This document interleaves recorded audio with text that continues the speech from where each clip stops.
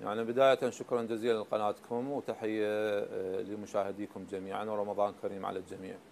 يعني من المؤكد أن هناك يعني بعض خلينا نقول الأخبار المغلقة المقلقة اللي وصلتنا من وزارة الصحة هي زيادة عدد الإصابات وعدم الالتزام بالحظر عدم التزام المواطنين بتعليمات الوقاية الصحية والالتزام بهذه التعليمات وكذلك آه، خلينا نقول عدم الالتزامات بالمسافات وسياسة التباعد الاجتماعي بين المواطنين. كل هذه أدت إلى زيادة أعداد الإصابات في الأيام الأخيرة وبالتالي أنت تعرف أن المصاب هو ما يكون وحيدا المصاب أكيد يكون ضمن عائلة وضمن أصدقاء وضمن المنطقة فأكيد راح تكون عنده كل مصاب كل مصاب واحد فرد واحد لديه العديد من أعداد الملامسين والمشتبه بهم. لهذا كانت الأعداد كبيرة جدا. بدأت وزارة الصحة آه، تقلق من هذا الموضوع. بدأت, بدأت وزارة الصحة تفقد تفقد في بداية فقدانها لزمام السيطرة على هذا الموضوع. أصبح هناك مصابين ومشتبهين وملامسين أعدادهم بالآلاف. بالتالي إحنا نخشى من زيادة أكثر لهذه لهذه الإصابات وبالتالي يجب علينا أن نتصرف أن يكون لدينا هناك ردة فعل لهذا الموضوع. ما عندنا أي شيء إحنا أمانة يعني ضد الكورونا فيروس. ما دام إحنا لغاية الآن لم نصنع أو لم نكتشف العلاج واللقاح الشافي من هذا المرض ليس لدينا تصرف أو ليس لدينا أي إمكانية لصد هذا الفيروس سوى الحظر الحظر والالتزام بالحظر الصحي والتعليمات الوقاية وتعليمات آه، خلينا نقول التعقيم والتباعد الاجتماعي. يعني بصراحة هناك الكثير من آه، أكثر من سيناريو لتصدينا لهذا الموضوع. هناك أكثر من طريقة وأكثر من خطة يعني ممكن في لجنة خلية الأزمة وزارة الصحة أنه نتبعها. يعني لدينا خلال يومين إن شاء الله في خلية الأزمة النيابية استضافة للسيد وزير الصحة ووكلاء وزارة الصحة للاجتماع بهم والتعرف على وجهة نظرهم التعرف على إجراءاتهم التعرف على خطط وزارة الصحة الجديدة لمواجهة الكورونا فيروس. هناك بعض خلينا نقول سيناريو آه، لإجراء حظر شامل حظر تجوال شامل مثل اللي أجريناه بالأيام الأولى للكورونا فيروس.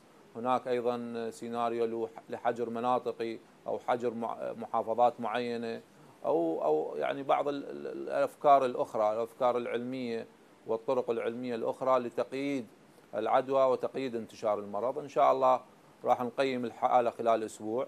نقوم بإجراء تقييم شامل للحالة خلال أسبوع واحد. ومن ثم آه، خلينا نقول نستقر على إحدى هذه السيناريوهات بعون الله.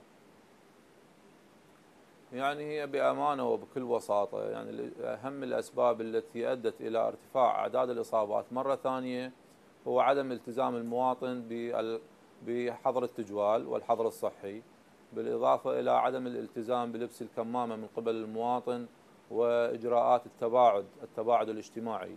يعني التباعد الاجتماعي فد موضوع كلش مهم يمكن أهم موضوعين بمواضيع الوقاية بالنسبة للمواطنين اللي رجاء الالتزام بها هو لبس الكمامة وكذلك سياسة التباعد الاجتماعي. يعني للأمانة إذا ما آه، توصلنا أو إذا ما توصل العلماء في كل دول العالم إلى لقاح وعلاج شافي للكورونا فيروس هذا معناه أنه كل حياتنا راح تتغير. لازم أنه يكون التزام بسياسة التباعد الاجتماعي في المدارس في الجامعات في الدوائر.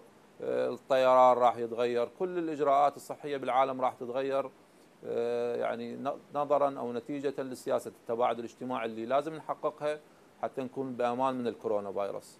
بسبب عدم التزام المواطنين بهذه السياسة وبالتعليمات وبالحظر هذا أدى بكل بساطة إلى ارتفاع موجة ثانية من الارتفاع في أعداد الإصابات بالكورونا فيروس.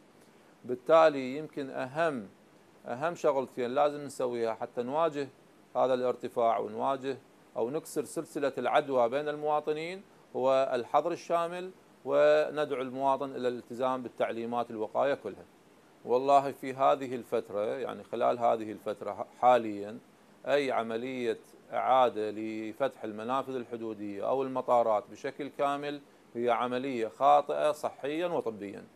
وأنا أحذر كل المسؤولين وأحذر رئيس الوزراء والدولة كلها من عملية فتح المنافذ الحدودية والمطارات بشكل كامل. وممكن أن يكون هناك بعض الاستثناءات الخاصة مثل ما إحنا جاي نعمل بها سابقا لبعض البضائع أو بعض الوفود الدبلوماسية لكن عملية فتح أكرر عملية فتح المنافذ الحدودية والمطارات بشكل كامل هذه عملية خاطئة جدا علميا وطبيا وراح تؤدي إلى حدوث كارثة داخل العراق ويتحمل مسؤوليتها كل من سيوافق على عملية فتح هذه المطارات وهذه المنافذ الحدودية.